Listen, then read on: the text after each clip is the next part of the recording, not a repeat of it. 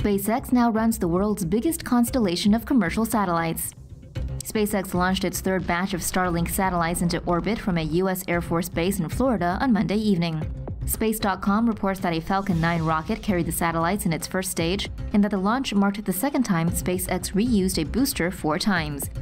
Citing SpaceX, AFP reports that after deployment, the satellites would utilize ion thrusters to reach an orbit of 550 kilometers to avoid collisions at higher, more congested space. MIT Technology Review reports that SpaceX now operates 180 Starlinks, making the company the owner of the world's largest constellation of commercial satellites.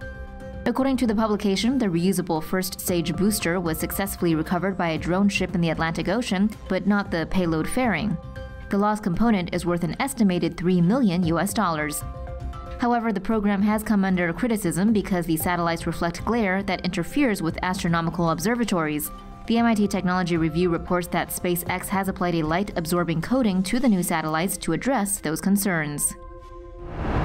For more news animations and explainers, hit the subscribe and bell button to join the Tomo News family. Thanks for watching.